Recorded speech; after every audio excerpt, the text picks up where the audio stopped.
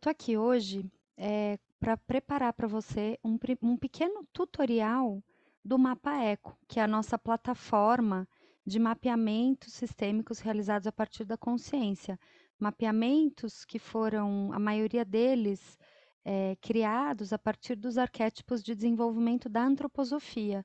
A antroposofia é a ciência espiritual trazida ao mundo por Rudolf Steiner e que nos permite olhar para o ser humano de uma maneira mais integral, mais holística, eh, olhar para as organizações também, eh, incluindo as nossas dimensões mais sutis, mais espirituais, podemos chamar assim também.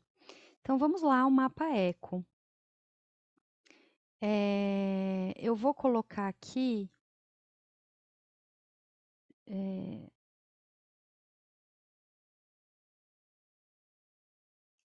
Então aqui a gente tem a tela do mapa eco, então quando você, eh, receber o link, você vai entrar aqui colocar o seu login, a sua senha.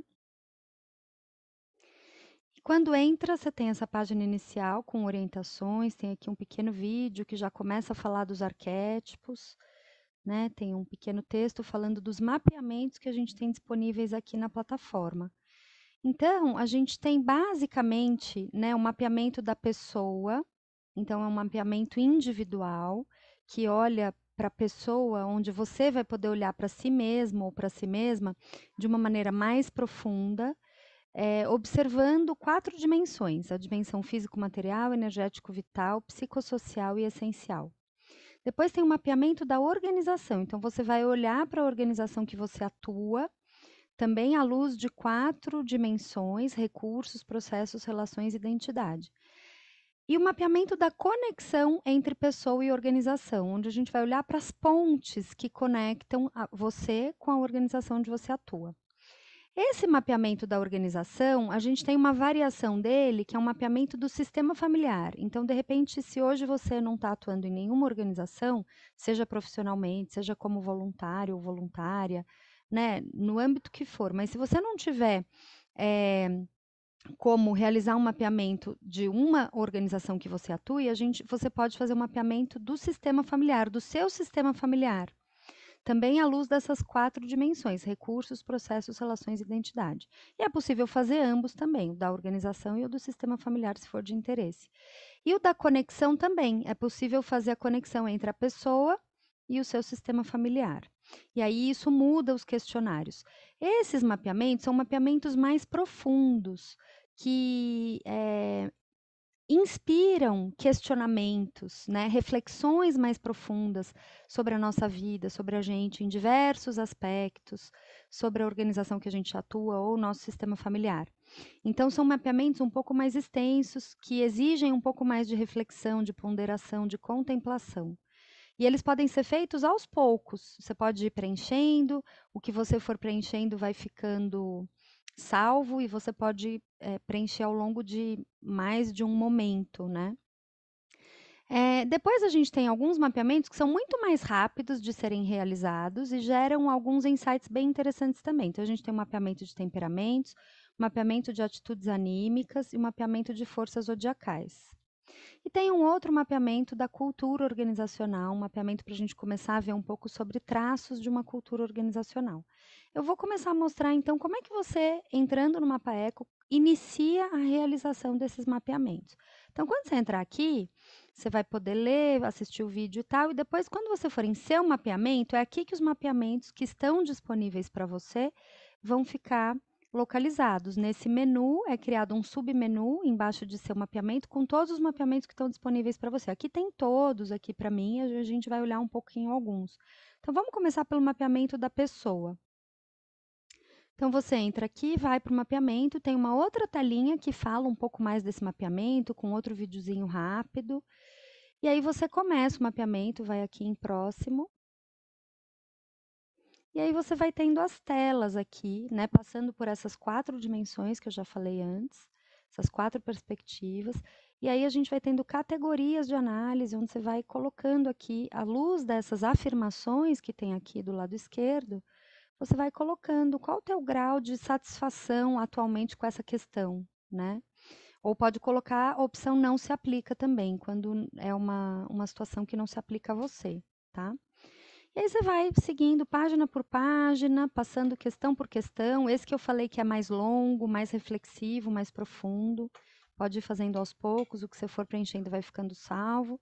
Vai indo pra, por todas as páginas,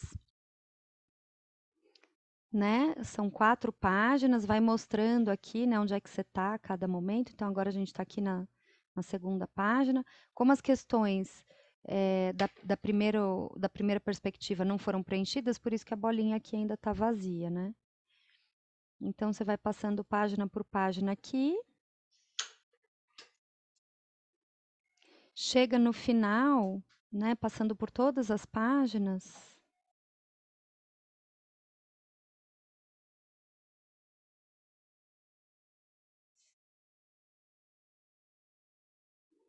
Aqui na última página, você vai ter aqui o finalizar. Agora eu não vou finalizar porque não, as, as questões não estão preenchidas, né? Senão ele não finaliza. Mas você vai dar finalizar aqui. Quando você finalizar, o mapeamento está pronto, ele vai ser processado e automaticamente vai ser gerado o seu relatório desse mapeamento. Daqui a pouco eu vou entrar de novo num, com outro login para a gente ver um pouco dos relatórios, tá? E aí é a mesmo, o mesmo mecanismo para todos os mapeamentos. Vamos olhar agora o mapeamento da organização. Então tá aqui de novo a telinha, né, orientativa desse mapeamento, tem um videozinho rápido. E aí vai seguindo aqui o próximo e novamente temos as páginas, cada perspectiva, as categorias que são abordadas. E você vai passando página por página. É, e vai chegar lá no final na última página vai ter o botão finalizar, tá? O mesmo processo, é bem tranquilo. É importante dizer, caso você seja consultor ou consultora, terapeuta, mentor ou mentora, é, ou até mesmo médico antroposófico, é, aconselhador ou aconselhadora biográfico, né? Você pode usar esses mapeamentos e é possível personalizar essas questões. Então, de repente, para o seu público-alvo, para os seus clientes ou pacientes, você quer trabalhar outras questões ou quer resumir, né, trabalhar menos questões, é possível a gente fazer essa personalização também. Então é importante dizer. Então aqui no mapeamento da organização, chegamos na última página, novamente vai ter o botão finalizar, tá? Então o mapeamento da conexão, ele segue essa mesma lógica também, conexão entre pessoa e organização, ou conexão entre pessoa e sistema familiar, né? Então vai ter sempre lá o videozinho e você vai fazer o um mapeamento da mesma maneira, página por página, tá? Questão por questão. É, depois, então, esses é, são esses mapeamentos, como eu falei, um pouco mais complexos. E aí eu vou mostrar agora os outros três mapeamentos que são bem mais rápidos de fazer. Então, por exemplo, o de temperamentos, né? Então, tá aqui novamente uma, um texto orientativo com vídeo, caso você queira saber um pouco mais dos conceitos. E aqui nesse caso são 27 páginas, mas cada página é só uma, uma tem uma frase e você deve escolher uma dentre as quatro possibilidades aqui, tá? E vai passando página por página, tá? E novamente, quando chegar lá na última página, vou clicar direto aqui na página 27, você vai ter o botão finalizar, tá? Super simples. Esse, esse aqui, por exemplo, é bem rapidinho de fazer menos de 10 minutos é possível fazer esse mapeamento. Aí o mapeamento das atitudes anímicas. Ele também é rápido, novamente aqui a orientação com vídeo. E aí você vai ter, aqui nesse caso são mais páginas, né? Você vai poder escolher em cada página as palavras que mais te representam, palavras ou frases que mais te representam. Vai poder escolher aqui quantas quiser e vai passando por todas as páginas, né? Vou direto lá para a última. E lá na última página, novamente, o botão finalizar. E por fim, forças zodiacais, também a página introdutória com o vídeo, texto e vídeo. Aí tem aqui também, nesse caso, são 12 páginas. Vai ter, você vai escolher novamente as palavras ou frases que mais te representam. Vai página por página, chegando lá na última página, novamente o botão finalizar, tá? Tem aqui também o mapeamento cultural. Acho que só falta esse para a gente mostrar. Esse aqui não tem vídeo, mas ele também ele vai trazendo algumas frases, algumas expressões onde a pessoa vai colocando a cultura atual versus a cultura desejada, né? O quanto aquele aspecto ele está presente na cultura atual ou se não está, se ele está presente na cultura desejada, né? E aí a gente consegue ter um, um comparativo. É um, é um cheiro inicial de mapeamento cultural, né? Que pode ser bastante útil nos processos aí de desenvolvimento organizacional. Então é basicamente isso. Agora eu vou eu vou entrar e sair aqui, eu vou eu vou sair daqui para entrar com outro com outro login. Deixa eu parar de Agora eu entrei aqui com outro login para a gente visualizar os relatórios, né? Então, para você poder ter essa dimensão dos relatórios. Então, depois que você finaliza os seus mapeamentos ou o seu mapeamento, você vai aqui no menu em relatórios e vai estar tá aqui um submenu com todos os relatórios disponíveis para você. Então, por exemplo, o relatório do mapeamento da pessoa, que eu mostrei anteriormente, né? Então, quando você clica aqui, vai para o relatório. Esse relatório, se você clica aqui em imprimir, ele vai ser gerado para você em PDF, na íntegra, né? E você pode guardar. E aqui tem um texto né, do relatório, um texto de boas-vindas, explicando um pouco do mapeamento e começa a ter aqui os seus resultados, né? É, cada dimensão, cada perspectiva que foi trabalhada naquele mapeamento, tem duas, dois, duas formas de ver aqui. Aí depois quebrando cada perspectiva nas diferentes categorias, né?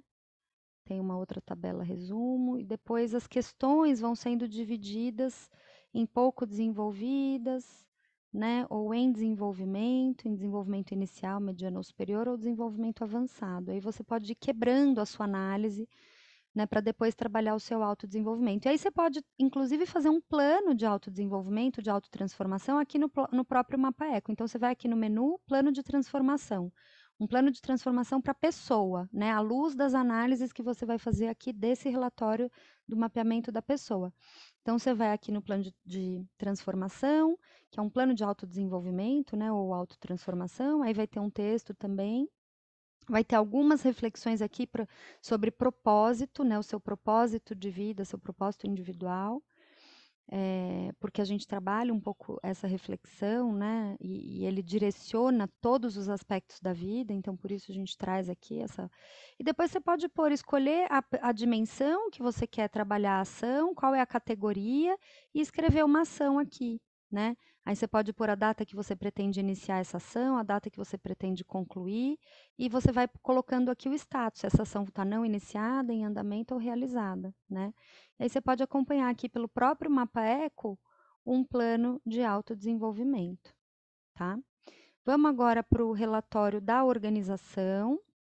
O relatório da organização ele é bem parecido também com o relatório do sistema familiar, né? O que muda são as afirmações, o contexto. Então, aqui de novo, né, o relatório pode ser impresso, gerado em PDF aqui no botão imprimir. E aqui você tem o texto falando sobre o mapeamento, começa com os resultados gráficos, os resultados primeiro mais amplos, né, das dimensões, as perspectivas, depois as, quebrando nas categorias de cada dimensão, também tem em forma de tabela, e depois separando as questões, onde você pode detalhadamente olhar para cada questão, né, e aí você pode falar, bom, eu vou trabalhar primeiro as pouco desenvolvidas ou as, e as em desenvolvimento inicial, né? E aí aqui você consegue ver todas as questões específicas que saíram nessa, nesse âmbito para depois você trabalhar o seu plano. Nesse caso, também você pode criar aqui um plano de desenvolvimento organizacional. Então, à luz desse mapeamento que você faz sobre a organização em que você atua ou voluntaria, enfim, ou se é um mapeamento do sistema familiar, você pode trabalhar também, tra é, é, traçar né, um plano de desenvolvimento organizacional ou de desenvolvimento familiar. Você também vai aqui em plano de transformação, organização. Né? Então, da mesma forma que você criou lá o plano de autodesenvolvimento, qual é a ideia aqui? Também tem uma reflexão sobre o propósito da organização, porque por que tem essas reflexões sobre propósito? Porque o, o propósito é o que direciona, o que guia, né? é a luz do espírito da organização da pessoa que guia todo o resto, né? E aqui você também pode trabalhar. Então, qual a ideia aqui? Mesmo que você é, não seja uma pessoa um consultor interno na organização, você pode, à luz da análise que você fez da organização, você pode trabalhar um plano de, de transformação e de desenvolvimento organizacional à luz dos papéis que você energiza nessa organização né? Ou do cargo que você ocupa nessa organização. Então, você pode escolher aqui as dimensões. Ah, vou trabalhar no âmbito dos recursos, na categoria gestão e distribuição de recursos, eu vou pôr uma ação aqui. Da mesma forma, você pode pôr a data de início da ação, a data de término da ação e vai acompanhando aqui com o status, né? Então, você pode estabelecer ações aqui para todas as dimensões da organização, recursos, processos, relações e identidade, escolhendo as categorias de cada dimensão, né? Então, essa é a ideia. E, obviamente, que se a gente aplica esse mapeamento para várias pessoas dentro da organização, a gente pode ver os relatórios depois segmentados né, por área ou por nível hierárquico e tudo mais. E depois a gente pode, além de estimular esses planos de, de transformação organizacional individuais, a gente pode fazer workshops, oficinas, eventos para trabalhar um plano de desenvolvimento organizacional coletivo também. Né? É, voltando então para os relatórios, aqui o relatório da conexão entre pessoa e organização.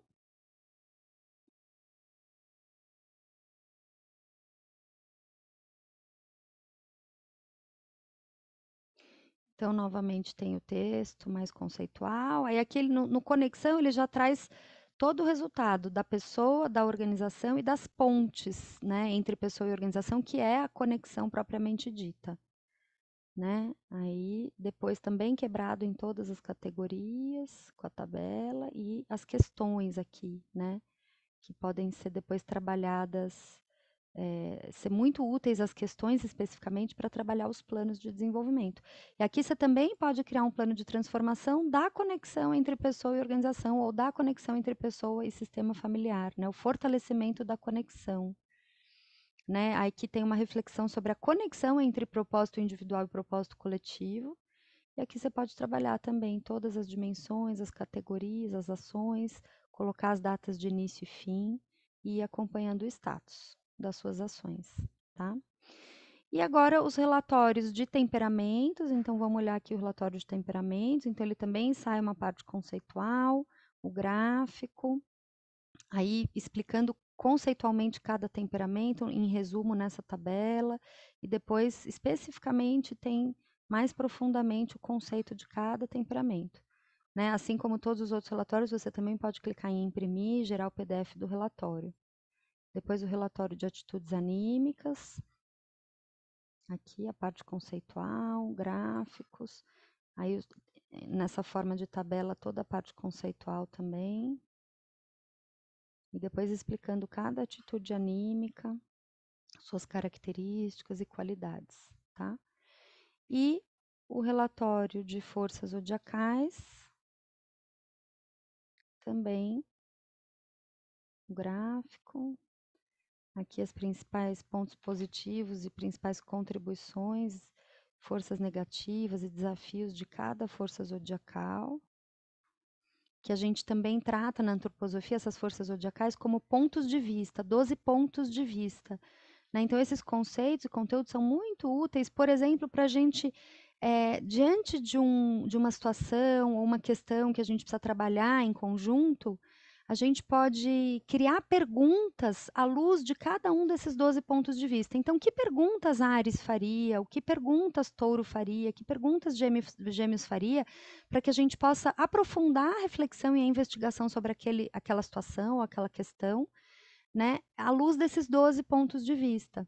Né? Então, para além da gente olhar para as nossas características, qual força está mais ou menos desenvolvida neste momento da nossa vida, a gente pode depois trabalhar isso como pontos de vista também, tá? E o relatório do mapeamento cultural, que mostra aqui né, a cultura atual, o roxo, versus a cultura desejada, que é o azul, né, em forma de distribuição dessas três grandes categorias, propósito evolutivo, integralidade e autogestão, que são os três pilares das organizações TIL, né, do Reinventando as Organizações, do Frederic Laloux, e depois um pouco de cada uma das, das características né, da cultura atual e da cultura desejada. É isso. Espero que esse tutorial seja útil e eu fico à disposição para necessidades, esclarecimentos. E estou por aqui, tá bom? Gratidão, até mais.